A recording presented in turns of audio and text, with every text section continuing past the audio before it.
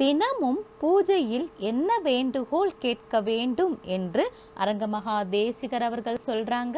வாங்க என்ன சொல்றாங்கன்னு கேட்கலாம். நீ என்னை சார வேண்டும் சார்ந்தால் சார்ந்தால் நிச்சயம் ஜென்மத்தை கடைத்தேற்றிக் கொள்வேன் நீ எனக்கு அருள் என்று கேட்க வேண்டும். இப்படி ஒரு வேண்டுகோள் தினமும் கேட்க வேண்டும்.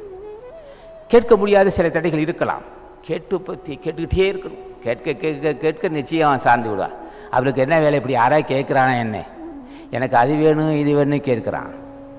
அட மடையர்கள் அது வேணும் இது வேணும் கேது என்னை என்னை சார்ந்து இருப்பாய் என்னை சார்ந்து உன்னை போல என்னை ஆக்கிக்கொள்ளுன்னு கொள்ளுன்னு நான் தூய்மையான நீர். நான் தூய்மையான நீர் சுத்த ஜலம். நீ அசுத்தமாக இருக்கிறாய். என்னை சார்ந்தால் நிச்சயமாக நான் செற்றி பெறுவேன் சுத்தி பெறுவேன் சொல்லுவாங்க. அப்போ என்ன செய்கிறார்கள் அவர்கள்? உடம்பில் சாருகிறார் அதான் திருமணத்தை சொல்வார். விண்ணின்றி இழிந்து வினைக்கேடாய் கொண்டுனார் பூஜை செய்ய பூஜை செய்ய பூஜை செய்ய புண்ணியமும் பூஜை செய்யும் போது நல்வினை பெறுகிறது நல்வனை பெருகும்போது விண்ணின்றி மா மேல்நிலையில் இருக்க தலைவன் இழிந்து மாறுபட்டு வினைக்கேடாய் கெடாய் மெய்கொண்டு மெய் உடம்பு. நல்வனை பெருக பெருக அருள் பெருக பெருக மகான்கள் ஞானிகள் மகிழ்ச்சி அடைய அடைய நம்ம இரண்டரை காந்து விட மின்னின்றி இழிந்து வினை கீழாய் மெய்க்கொண்டு தன்னின்ற தாளை தலைக்காவல் முன் வைத்து குளிர்ச்சி பொருந்திய திருவடியை தன் மீது தன் சிர- சிரசில் வைத்து இடைகளை பெண்களையா மாறுவான் இடைகளை பெண்களையா மாறி உள்ளே சென்றுவான்.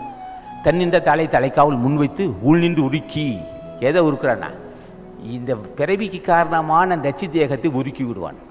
உன்னின்று உருக்கி ஓர் ஒப்பில ஆனந்த கண்ணின்று காட்டி களிம்பறுத்தான். அப்போ உள்ளே இருந்து அசுத்த மீண்டும் பிறவி காரணமான காம நீர் சத்து அசத்து சத்து இல்லை.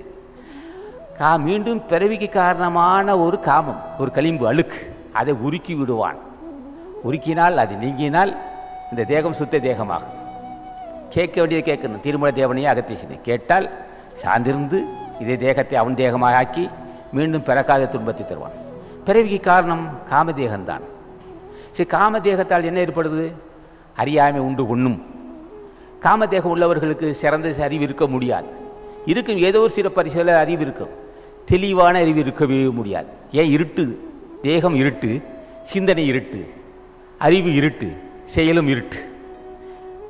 தேகம் அழுக்கு சிந்தனை அழுக்கு அறிவும் அழுக்கு. செயல்பாடு பூரா அழுக்கு. அவன் சொல்கிற கருத்து ஒன்றுக்கு ஒன்று முரணாவே இருக்கு. இப்போ வள்ளுவன் சொல்லியிருக்கிறான் எதை எடுத்தாலும் தெளிவாக இருக்கு. என்ன ஐயா உனக்கு விட்டு இப்படி அறிவுன்னா? தேகம் நீங்கி விட்டது. என்னை வஞ்சித்த காமதேகத்தை பொடி பொடிந்து விட்டேன். காமதேகம் நீங்கியது சிறப்பறி வந்தது. சிறப்பறி வந்ததனால் நான் எழுதியிருக்க நூல் எழுதியிருக்கிறேன். அந்த நூலை மாற்றவோ மறுபரிசு சேர்த்து ஒரு ஒருத்தனுக்கு அதிகாரம் கிடையாது.